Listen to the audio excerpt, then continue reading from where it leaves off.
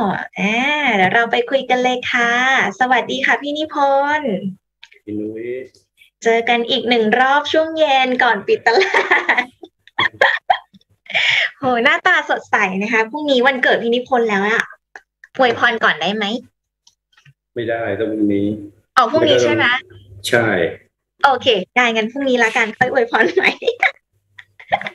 อะมาค่ะพี่นิพนธ์ค่ะช่วงขอเย็ขอนแชร์นิดหนึ่งขอแชร์นิดหนึ่ง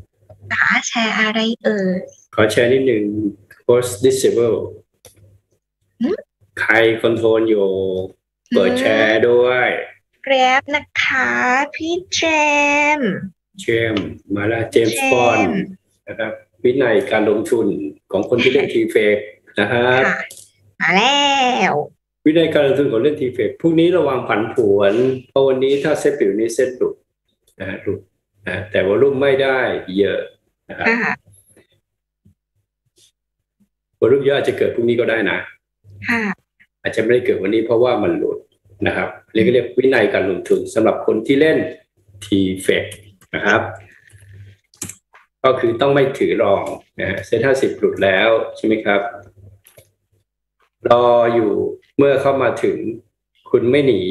นะฮะก็แสดงว่าแพ้นะฮะเพราะฉะนั้นใครถือรองอยู่ นะครับ ต้องระวังแล้วแกับนี้บอกแล้วนะครับแกับตรงนี้ของเส้นห้าสิบก็คือเก้าเจ็ดแปดจุดหนึ่งกับนี้ห้ามปิดห้ามแทงนะครับ ลงวันนี้ยังไม่มีวอลุ่มแสดงว่าพวกนี้ระวังความผันผวนเพราะว่ามีคนที่นะฮะมีวินัยเยอะ คนมีวินัยเยอะรู้ทางรู้มีวินัยเยอะก็จะทุบเอานะฮะก็จะเป็นหุ้นขนาดใหญ่ทั้งหลายแหล่นะครับค่ะก็ ถ้าตลาดเป็นแบบนี้ก็คือว่า อะไรเขียวๆว่าก็อย่าไปซื้อครับ เราอาจจะซื้อตรงตัวที่มันแดงๆได้ ตัวที่มันปรับฐานนานๆนะครับค่ะพี่นะครับเป็นหลายตัว วันนี้วันนี้ก็เป็นรายย่อยประคองตลาดนะค่ะ นะครับรายย่อยประคองตลาดก็จะมีกองฝรั่งก็ไม่ได้ขายเลยเยอะเนี่ยแต่พรุ่งนี้ถ้าถ้าถ้าลงนะพรุ่งนี้ลงนะครับ มันสามารถที่จะ มันมันก็จะลงได้อีกพอสมควรนะฮะการได้ก็จะอยู่ที่แถวเก้าเจ็ดศูนย์ก็เซ็นห้าสิบนะเซ็นห้าสิบก็ไปดูตัวอยู่นะฮะหรือว่าเซ็ตห้าสิบหลุดแนวรับนะครับ เซ็ตห้าสิบหลุดแนวรับ พร้อมกับตัวยูก็หลุดแนวรับเก้าเจ็ดหนึ่งจุดสี่หลุดไหมอ่า แต่เซ็ตห้าสิบหลุดอ่าเชื่อเซ็ตห้าสิบนะครับ เพราะว่าเซ็ตห้าสิบบอกคอนเฟิร์มด้วยอันนี้นะอืมเชื่อค่าเถอะแต่ปัตตพีข้าไม่เคยหลอกใครค่ะฟิวเจอร์อาจจะหลอกเจ้าได้ แต่เซ็ตห้าสิบไม่หลอก มักเป็นเช่นนั้นซึ่งซึ่งเราต้องระวังเราต้องระวังไม่ถึงค่ะเราถือช่องเราต้องระวังนะอ่า นะครับ ก็จะเป็นเหมือนเดิมเมื่อเช้าเด้งช็อตใช่ไหมคเด้รับงช็อตที่บอกว่าช็อตได้เปรียบใช่นะครัค่ะบอ่าถ้าเราเล่นแล้วเรารู้ว่าเออตกลงเอาอะไรตัดสิน ก็เอาเส้นห้าสิบตัดสินแล้วกันนะอืมนะครับ เพราะว่าเพราะว่ามันเป็นความเสี่ยงทางลงไงใช่ไหมค่ะของขาลองเนี่ยนะฮะแต่ขาช็อตน่ะอาจจะต้องใช้ใช้ตัวเซตห้าสิบตัดสินเพราะคุณได้มาไงคุณช็อตมาถูกไหมนะครับ เพราะฉะนั้น971.3มันยังไม่เห็นเนี่ย นะฮะเพราะฉะนั้นขาช็อตก็ยังต้องต้องแบบว่าอย่าอย่าอย่าอย่าช็อตแถวนี้มันยังเด้งได้อยู่ใช่ไหมครับอืมส่วนขาลองจะเชื่อใครเพราะว่าคุณมีความเสี่ยงแล้วล่ะ ถ้าคุณลองมาจากข้างบนเนี่ยทั้งหมดเนี่ยจากแถบที่จนถึงวันนี้เลยนะแล้วคุณลองมาเนี่ย คุณก็เชื่อเซตห้าสิบเพราะว่าถ้าคุณไม่เชื่อแล้วมันลงมันมีความเสี่ยงค่ะที่คุณจะขาดทุนเข้าใจไหมครับบางทีมันมีปัญหาแบบนี้ว่า จะเชื่ออะไรดีนะจะเชื่ออะไรตัวนู้นตัวนี้ดีอะไรเงี้ยครับค่ะ ทีนี้หุ้นที่มันไม่เกี่ยวกับเซ็นห้าสิบมันก็จะโดนขายเพราะบางคนเขาเซ็นลงเขาขายทุกตัวนะฮะค่ะพี่เขาไม่สนนะฮะเพราะฉะนั้นก็ระวังความผันผวนในหุ้นตัวเล็กด้วย ก็จะเกิดความผันผวนเกิดขึ้นนะความผันผวนนะความผันผวนไม่ถึงว่ามันอาจจะเหวียงแรงเหวียงแล้วจนกระทั่งทำให้เราตกใจเหมือนเมื่อเช้าที่ตัวนะฮะมีอยู่ตัวหนึ่งนะครับอะตัวนี้แนะนำได้นะครับ ตัว B มันเหวี่ยงดีนะฮะมันเหวี่ยงเห็นไหมฮะมันเหวี่ยงเนี่ยนะครับ อันนี้เขาเรียกผันผวนนะฮะลงไปเก้าห้าตังค์แล้วก็ขึ้นมาบาทบาทสี่ตังค์เนี่ยนะมันสิบเปอร์เซ็นต์นะค่ะพี่ก็เรียกอันนี้ก็เรียกความผันผวนเรียกระวังความผันผวนนะครับอืมแต่เนื่องจากว่ามันลงมาแล้วเนี่ย มันก็จะเป็นการมองแค่ rebound นะนะครับมองตัวนี้ก็ดูแค่ rebound ขึ้นมาก็ขายก่อนเนี่ยนะครับก็ยังไม่หลุดตัวนี้ก็ไม่เป็นไรนะครับเก้าเอ็ดตังเก้าสามตังเลยนะครับ ไม่หลุดก็ไม่เป็นไรนะแต่ ตัวนี้ไม่ดูดูดูว่าปรับฐานถูกไหมฮะเนี่ยปรับฐานแล้วพยายามศึกษาไปปรับฐานแล้วเพราะฉะนั้นก็เออเมื่อเช้าซื้อมาแล้วก็เด้งไป จริงๆเราก็ไม่ต้องไปหาหุ้นตัวใหม่ๆหรอกนะฮะตัวเก่าๆเนี่ยที่ทรงยังอยู่เนี่ย ก็ยังเล่น short เล่น long มันหมดมัน overbought อะไรก็เล่นเล่นไปได้ตลอดตามนะเทรนด์ตามระบบใช่ตามระบบไปนะครับ ก็อาจจะต้อง มันหวือหวานะฮะนะครับหุ้นพวกเนี้ยมันหวือหวาเนี่ย คนเรียนก็จะรู้นะว่าว่าว่าอะไรบ้างนะครับโอ้โหแต่ก็แบบถ้าใครส่วนทำกำไรได้ก็ได้หลายรอบเลยคือคืออย่ากลัวตลาดอย่ากลัวตลาดค่ะแต่ต้องกลัวว่าเราไม่สต็อปลอสอะ อันนั้นอืมน่ากลัวมากนะครับstop loss แล้วเราไม่ยอม stop loss เนี่ยนะครับสต็อปลอสของ t f เฟก็มาตั้งแต่ 994 น่ากลัวไหมฮะ ขาดทุน 20 จุดละเพราะคุณไม่ stop loss มันน่ากลัวค่ะใช่ไหมครับ อันนี้มันบอกแล้วไงคุณต้อง stop loss ใช่ไหมเนี่ย วันนั้นพี่ก็บอกไงให้ดูตรงนี้ใช่ไหมเก้าเก้าสี่เก้าเก้าสามเก้าเก้าสี่เนี่ยอืมนะถึงแถวๆเนี้ยนะครับเป็น stop loss ใช้ time frame นี้ไปช่วย time frame นี้นะค่ะแต่พอหลุดเก้าแปดหกจุดเก้าเนี่ยแล้วคุณไม่ stop loss น่ากลัวไหมฮะ ถ้าคุณลองน่ากลัวพี่คือคือเซ็ตหุ้นทีเฟกจะขึ้นจะลงไม่ได้เรื่องน่ากลัวนะนะครับ มันขึ้นมาคุณไม่ได้ลองมา ก็ไม่ได้น่ากลัวนะครับ คุณไปลองแถวๆนี้ที่บนสุดหนึ่งศูนย์ศูนย์สี่ก็ไม่ได้น่ากลัวนะที่น่ากลัวก็คือคุณไม่สต็อปลอสรอสิแหละจะเสียหายอันนี้ค่ะน่ากลัวที่สุดความน่ากลัวอยู่ที่ตัวคุณไม่ยอม stop loss นะค่ะถ้าพี่ถ้าคุณยอม stop loss แล้วก็คุณก็ตั้งต้นใหม่นะครับเฮ้ยมันน่าจะเป็นอะไรใช่ไหมค่ะอะแท่งเขียว doji เอา short อะไรเงี้ยนะครับเมื่อเช้าก็ short อะพรุ่งนี้เด้งมาใหม่ดิเด้งมาใหม่ดิเด้งมา short อีกนะก็ short ได้เปรียบอ่า short เด้ได้งเปรียบ short เออ ไม่ใช่ไปดูดาวโจนส์เนี่ยดาวโจนส์บวกหกสองจุดแล้วไปดูดาวโจนส์เมื่อวานดาวโจนส์ก็บวกทำไมไม่บวกมาเอาลงไม่เกี่ยวไม่เกี่ยวเลยจะเรื่องค่ะเรื่องเรื่องของเราก็เยอะแล้วนะฮะอืมเอาไปเอาเรื่องอื่นมาปนอีกก็ปวดหัวนะฮะใช่ค่ะเอาทีเฟกไปเอาอเมริกาดาวโจนส์เอายุโรปเอามาโอ้ยจีนลงนู่นนี่นั่นลงเอาตกลงเอาไงดีนิกกี้อีขึ้นอะไรเงี้ยอืมโอ้ยปวดหัวมันเอาจะเฉยิ่งพาะสับสนทีเฟกเอาเฉพาะทีเฟกเอาเฉพาะระบบนะทองนะ คุณค่ะอืมไซเวย์ก็คือไซเวย์ค่ะใช่ไหมพี่เหมือนบอกไหมว่าก็จะเป็นกับมันแบบเนี้ยอืมแต่ short ได้เปรียบใช่ค่ะไหมเหมือน short ได้เปรียบอ่า short ได้เปรียบ ก็ถ้าดูใน pattern นี้ก็คือว่าใคร short เหนือหนึ่งแปดศูนย์เจ็ดหนึ่งแปดหนึ่งศูนย์เนี่ยเห็นไหมฮะหนึ่งแปดหนึ่งศูนย์เนี่ยใคร short เหนือหนึ่งแปดหนึ่งศูนย์เนี่ยเขาเรียกว่าได้เปรียบระดับสองนะฮะแต่ใคร short มาจากตรงนี้โดยใช้อันนี้ช่วยนะครับ ค่ะก็จะ short เหนือประมาณแปดสองสี่นั้นได้เปรียบมากขึ้นโอ้นะครับนะครับเพราะฉะนั้นคนคน short หนึ่งแปดสองสี่ได้เปรียบยังไงก็คือว่าอะถ้ามันผ่านหนึ่งแปดหนึ่งศูนย์เนี่ยใช่ไหมคุณก็ lock profit ก่อนก็ได้ใช่ไหมคุณได้เปรียบแหละได้เปรียบได้เยอะเปรียบแล้วนะนะได้กำไรเออแล้แต่วคนแต่คนที่ short ที่หนึ่งแปดศูนย์แปดถ้าไม่ stop loss เนี่ยอาจจะต้องไปไปรอการ stop loss ที่หนึ่งแปดสองสี่ใช่ไหมก็ได้เปรียบน้อยใช่ไหมฮะค่ะแต่อย่าลืมว่าคนคนที่มา short แถวเนี้ยก็ไม่ได้เปรียบนะ มันไม่ได้เปรียบนะคุณมา short ต่ำแล้วเนี่ยคุณไม่ได้เปรียบเพราะว่ามันยัง sideway อยู่ยังใช้ทำไมไม่ได้เปรียบเพราะว่าไอ้นี่มันสามารถจะแทงขึ้นได้อยู่ไงอ่าฮะมันเนื่ก็องยัจากงว่ามันมันยังไม่ได้หลุดเลือกทางมันยังไม่หลุดหนึ่งเจ็ดแปดศูนย์เนี่ย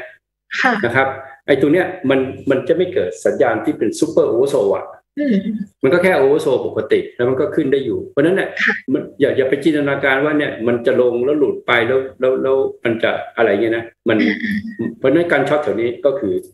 ไม่ได้เปรียบเท่าไหร่ ในระยะสั้นอืมแต่เด้งไปหนึ่งเจ็ดเก้าเก้าสำหรับคนยังไม่ได้ short ก็น่า short ถูกไหมครับค่ะพี่ มันก็ไม่รู้จะหาอะไร short ก็หรือว่าหนึ่งแปดศูนย์สี่ยิ่งดีใหญ่เลยค่ะอ่าพอรู้แล้ว short ก็คือเล่นสั้นก็ stop loss หนึ่งแปดหนึ่งศูนย์หนึ่งแปดหนึ่งหนึ่งอืมใช่ไหมครับค่ะมันก็เป็นระบบของเราที่จะไปเซตในการเทรด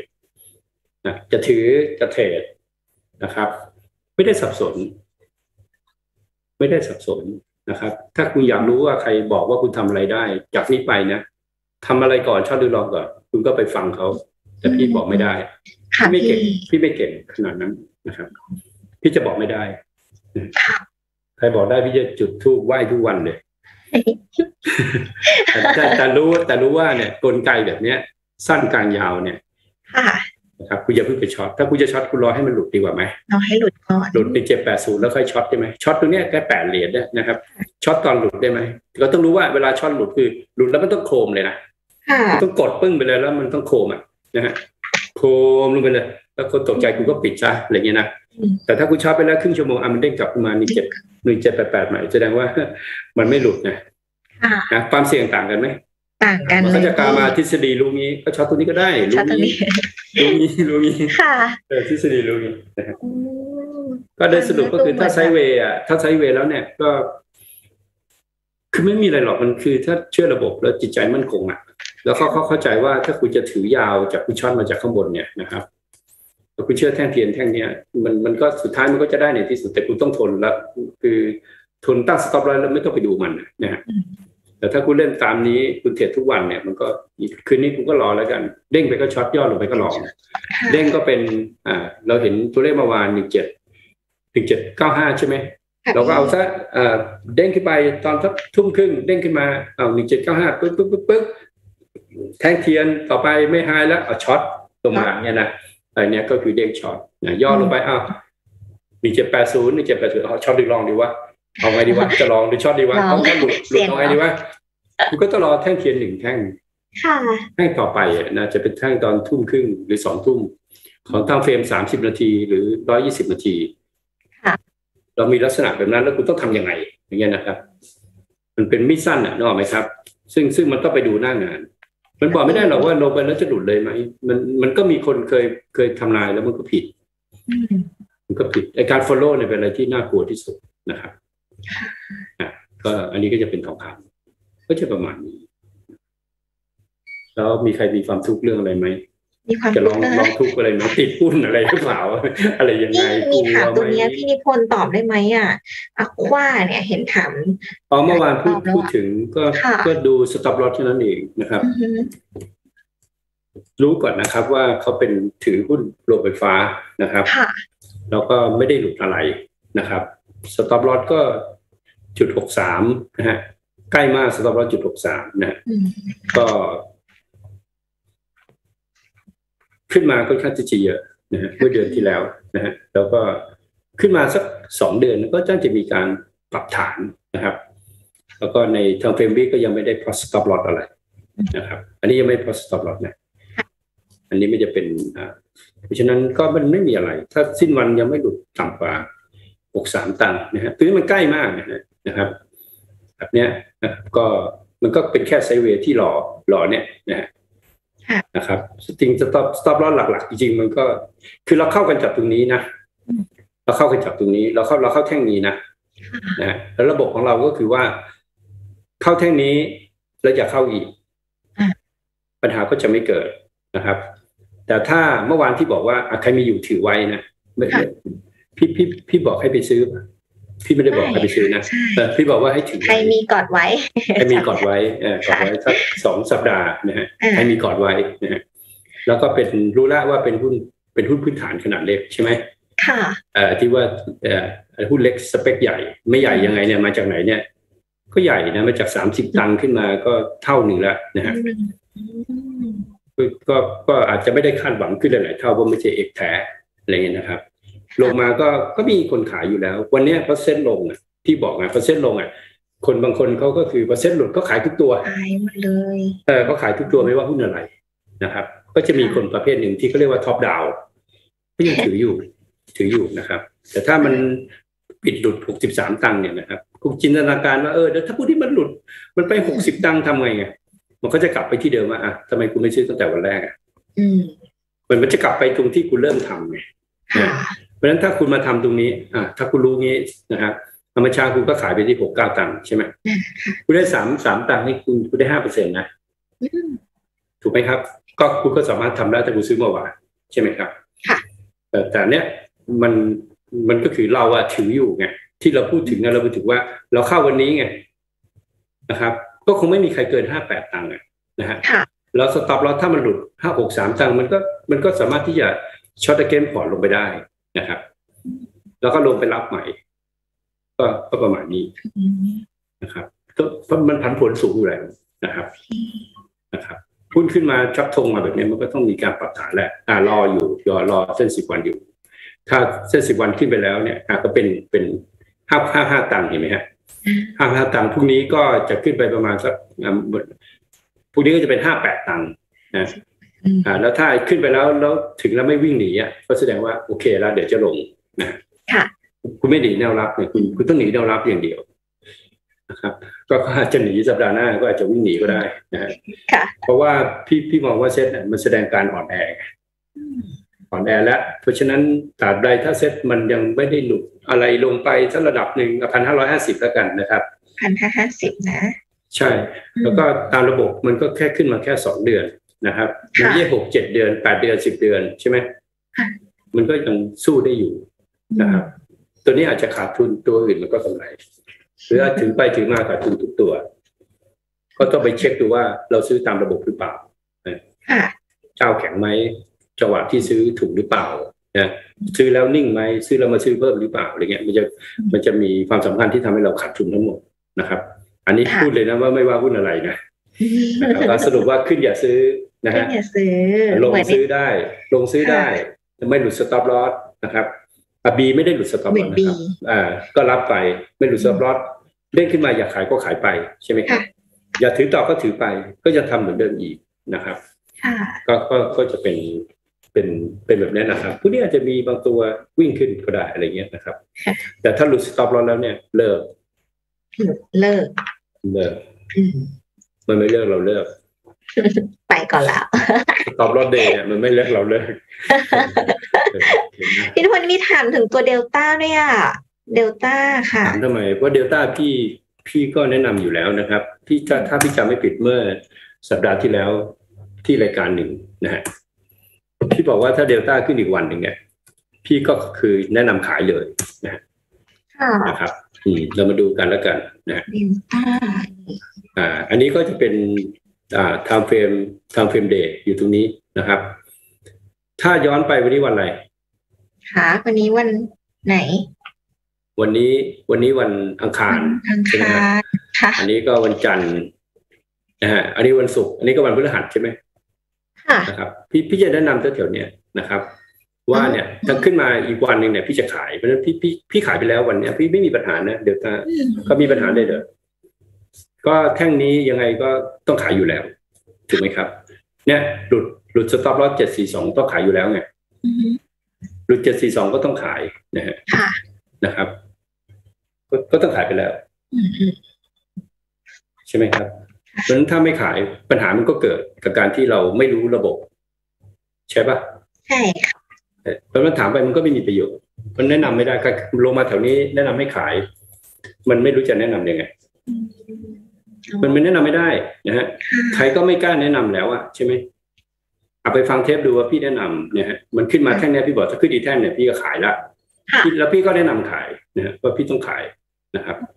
พี่พี่ไม่มีนะพี่ไปถือว่าพี่แนะนำขายนะพี่ไม่ได้เล่นหุ้นพวกนี้นะครับ แล้วเนี่ยขึ้นมาปั๊บก็ไดเวอร์เจนเนี่ยนะมันต้องมีความรู้พื้นฐานแบบเนี้ยว่าหุ้นอะไรก็แล้วแต่ที่วิ่งขึ้นมาแรงๆแบบเนี้ย โดยไม่มีเหตุผลนะครับอืมมันก็มักจะลงเสมอ เนี่ยมันมันไม่ต่างกับเซตที่วิ่งขึ้นมาเดี๋ยวไม่มีเหตุผลใช่ไหมขึ้นมาสามสัปดาห์ต่อเนื่องมันต้องลงเสมออะเพราะว่ามันกำไรในระยะสั้นเยอะนะฮะเพราะฉะนั้นเนี่ยคนที่เขาได้กำไรจากข้างล่างเยอะเขาก็เทคโปรฟิตที่นั่นเองไม่มีเหตุอะไรค่ะนะฮะก็ต้องไม่ไม่ต้องอ้างเมื่อกี้ก็มีรายการมาสัมภาษณ์เรื่องที่ว่าเขาจะเอาเรื่องฟรีโฟดอะไรมาใหม่อะไรอย่างนี้นะอืมอืมอืมก็ก็อ้างกันไปนะครับค่ะก็อ้างกันไปพี่ก็พูดไปผลแล้วไปฟังดูก็ได้รายการไม่เย็นนะครับว่าอืมอืมไม่มีอะไรทำไง ค่ะพี่พูดเหมือนเดิม ก็พี่ก็บอกไปแล้วว่าถ้าทำอะไรให้มันทำรายย่อยก่อนอืมเพราะว่าถ้าคุณทำเนี่ยมันจะมีผลสำคัญกับคนที่รายย่อยที่ถือหุ้นพลังงาน ค่ะเพราะหุ้นพลังงานจะถูกขายออกอืมนะครับ ถ้าจะทำให้ถามรายย่อยก่อนลงประชามตินะครับ ค่ะพี่นะครับ หรือว่าถ้าไม่มีอะไรทำก็อยู่เฉยๆไม่ต้องทำอะไรนะฮะคือคือคือคือคุณจะมาเปลี่ยนกติกาอะไรก็แล้วแต่เนี่ย คุณก็ไปรู้รู้ รู้เรื่องของปัญหาว่าทำไมมันถึงเป็นแบบนี้นะฮะค่ะเพราะใครเป็นคนทำให้เกิดปัญหาแบบนี้อืมมานะฮะแล้วปัญหามันต้องแก้ไขป้องกันตั้งแต่แรก เพราะว่าคุณจะอะคุณจะมาฝึกงานไม่ได้ พี่พูดแบบนี้ไม่ถึงว่าคุณจะมาฝึกงานในตลาดหลักทรัพย์เนี่ยไม่ได้ เพราะว่ามันกระทบกับมหาชน คุณต้องรู้แล้ว เพราะว่าเรื่องของตลาดหลักทรัพย์เนี่ยมันมีของโลกให้คุณดูอยู่แล้วนะฮะค่ะคุณจะมา ฝึกงานเนี่ยไม่ได้ เพราะมันจะกระทบกับคนส่วนใหญ่เขาเรียกมหาชนอืเหมือนคุณแค่เปลี่ยนกติกาเลือกตั้งมันไปกระทบกับมหาชนถูกไหมค่ะถูกไหมครับ คุณถามประชาชนไหมเนี่ยอืมไม่ได้ถามเลย คุณก็ลงมติกันว่าคุณจะเอาแบบคุณเนี่ยใช่ไหมแบบเนี้ยมันก็คือมันเกิดการได้เสียในหมู่ประชาชน เหมือนกันค่ะอันนี้พี่คุณจะเปลี่ยนกฎเกณฑ์อืมพูดถึงผู้รายย่อยเป็นคนจ่ายค่าใช้จ่ายทั้งหมด ในตลาดหลักทรัพย์ แม้กระทั่งการตั้งตลาดหลักทรัพย์อือฮึผู้ถือหุ้นรายย่อยก็เป็นคนจ่ายค่ะเงินเดือนของคนที่เกี่ยวข้องทั้งหมดอือฮึรายย่อยก็เป็นคนจ่ายฮะถูกไหมครับค่ะเงินเดือนของโบรกเกอร์ของพวกพี่รายย่อยก็เป็นคนจ่ายค่ะกองทุนรวมรายย่อยก็เป็นคนจ่ายเหมือนกองรายย่อยเป็นเจ้าของตลาดอืมเพราะฉะนั้นถ้าจะทำอะไรให้ถามเจ้าของตลาดก่อนอะอย่าบอกว่ารายย่อยไม่รู้เรื่องเพราะคุณรู้เรื่อง มันก็เหมือนกับงั้นคุณไปเลือกตั้งทำไม เลือกตั้งคุณก็บอกว่าคนชนบทไม่รู้เรื่องอืม รับเงินซื้อเสียงค่ะถูกไหมเอออืมคุณอย่าพูดนะฮะอืมคุณต้องคุณต้องถามก่อนเขาไม่รู้เรื่องตลาดก็จะไปแบบไม่รู้เรื่องนะฮะค่ะเพราะฉะนั้นถ้าคุณอยากให้ตลาดมันรู้เรื่องนะฮะอืมพี่ว่าปัญหาของไอ้เดลต้าอะไรต่างๆ ไม่ใช่ปัญหาของรายย่อยปัญหาของคนที่เล่นเล่น futures เล่น block trade อืม DW นะครับค่ะไม่ใช่ปัญหาของรายย่อย วันนี้รายย่อยซื้อครับลงมารายย่อยไม่มีปัญหาเลย คุณตกไปรายย่อยไม่เคยมีปัญหารายย่อยซื้อตลอดนะซื้อตลอดค่ะรายย่อยไม่มีปัญหาเลยใช่ค่ะนะครับรายย่อยไม่เคยมีปัญหาเลยมีเงินแต่แต่เอ่อหลักการของการตั้งตลาดมาเนี่ยนะเพื่อการระดมทุนนะฮะค่ะแต่หลักการของการตั้งหน่วยงานบางหน่วยงานมาเพื่อดูแลรายย่อยนะฮะอืมไม่ต้องดูแลครับพี่ค่ะดูแลเอง ไม่ต้องดูแลมีการดูแลคือการให้ความรู้ฮะใช่ค่ะพี่แล้วทุกคนบรรลุนิติภาวะนะครับ ทุกคนต้องรับผิดชอบตัวเอง ที่ก็สอนตลอดนะครับบางคนอาจจะไม่ชอบเลยก็เรื่องของมึงไม่เกี่ยวกูกูเป็นหน้าที่สอนนะกูสอนไปเออไม่ไม่ไม่ไม่ไม่ใส่ใจไม่สนใจค่ะพี่พี่ทำงานกับพี่แบบนี้นะครับอืมถ้าถามเรื่องนี้มาจริพี่งๆก็คิดว่าท่านรายย่อยก็อ้างไปเถอะเรื่องนู้นเรื่องนี้เรื่องนั้นพี่ก็ว่าไปเถอะนะครับค่ะเออก็ถ้าถ้ากินอิ่มไม่มีอะไรทำก็นอนไปอืมอย่าไปมาทำอะไรมากทำอะไรถามอะไรย่อยก่อนนะครับเดี๋ยวนี้การโหวตก็ผ่านออนไลน์ได้หมดนะครับแล้วมาดูค่ะใครจะชนะใครนะฮะอืมรายย่อยอาจจะโหวตว่าให้มีการเปลี่ยนก็ได้ แต่ก่อนเปลี่ยนรายย่อยขายหุ้นขายพลังงานออกแล้วไปซื้อหุ้นแบงก์ก่อนนะจะได้แบบไปเออหลีกตัวทันค่ะขายจะได้หลีกกันว่าจะทำยังไงค่ะเออประมาณนี้ขอบคุณได้ตเลยลกดี โอเคได้อะเลยเรื่องเรื่องนี้ไม่เกี่ยวกับกรตไม่เกี่ยวกับกรตเรื่องนี้ไม่เกี่ยวกับตลาดนะฮะอืมไม่เกี่ยวไม่เกี่ยวกับกรตกรตก็เป็นคนกลางที่จะมาดูแล ดูแลให้ถูกไหมครับค่ะคือคือก่อนก่อนการมาอาคุณจะเอาอะไรกัน เขาเป็นกรรมการน่ะกรตไม่ค่ะไม่เกี่ยวอย่าไปแตะต้องกรตกรตก็ไม่เกี่ยวเขาเป็นกรรมการอะแล้วจะเฮียริ่งให้จะทำเรื่องนี้ให้อืมคราวที่แล้วก็เฮียริ่งไปจริงแล้ว ก็ไม่ผ่านไปค่ะจริงแล้วนะครับอือฮึพอมีปัญหาจริงก็เต้นทีหนึ่งนะครับค่ะอาจจะมีเป็นคนเสียประโยชน์ไปหาท่านรัฐมนตรีแล้วก็อืมแบบไม่รู้เรื่องอะเหมือนบิตคอยแล้วก็มาจะเอานู่นนี่นั่นค่ะโอ้มึงบริหารประเทศบริหารการเงินแล้วมึงไม่รู้เรื่องการเงินแล้วมึงมาแล้วทุกอย่างมันก็คุณแต่อะไรไปนิดมันก็เสียหายหมดเลยอะนะครับ คุณต้องดูค่ะทั้งโครงพี่สร้างให้ออกนะครับ พี่ก็ไม่ใช่ว่าพี่ดูออกแล้ว พี่ก็ไม่ได้เคยรู้เรื่องอะไรหรอกนะฮะแต่พี่รู้ว่าปัญหาที่มันเกิดตอนเนี้ย ทั้งหมดเนี่ยมึงเป็นทำอาหารแดกกันไม่คล่องคอพอมึงไปลดมึงไปปล่อยให้ค่าคอมเสรีนั่นแหละมึงก็เริ่มจากตรงนั้นแหละนะฮะอืมแล้วมันก็ทำให้โบรกเกอร์เทรดนู่นเทรดนี่มีโต๊ะมีโต๊ะมีอะไรมาทั้งหมดแล้วทุกท้ายมันก็ทะเลาะกันค่ะแต่ย่อยบอกกูไม่รู้กูไม่ได้เล่นกับพวกมึงมึงสนใจทำไปก็แต่ทำไปเนี่ยมันมีรายย่อยที่ถือหุ้นกลุ่มพลังงานเนี่ยจะเสียประโยชน์เยอะค่ะ เพราะฉะนั้นรายย่อยเนี่ย ก็ไปคิดเองว่าจะยอมไม่ยอมอืมมีคำมีคำถามอีกไหมได้เลยค่ะโหตอนนี้ทุกคนถูกใจพี่นิพนธ์มากเลยค่ะเออคนนี้ผู้แทนใจรายย่อยนะปีโผลไม่ต่ำกว่าสามสิบก็เข้าเซ็นห้าสิบคุณคิดว่ากติกานี้ใช้ได้เหรออาถามพี่ไหมปีโผลไม่ถึงว่าก็รายใหญ่ก็ขายไปค่ะ แล้วก็ไปซื้อกลับที่ต่างประเทศเป็นชื่อคนอื่น ก็ฟรีโฟลดก็เป็นสามสิบเนี่ยก็เข้าเซ็นห้าสิบได้อยู่ดีอะกูดามาเด็กว่าเขาคุณจะแก้อะไรมาแล้วพี่ดูว่าคนอยู่ข้างนอกอะเขาจะสีถนนชัยยังไงค่ะอะสมมติว่าคุณบอกว่าหุ้นตัวหนึ่งนะฮะอืมเอาแมคโครก็ได้สิบห้าเปอร์เซ็น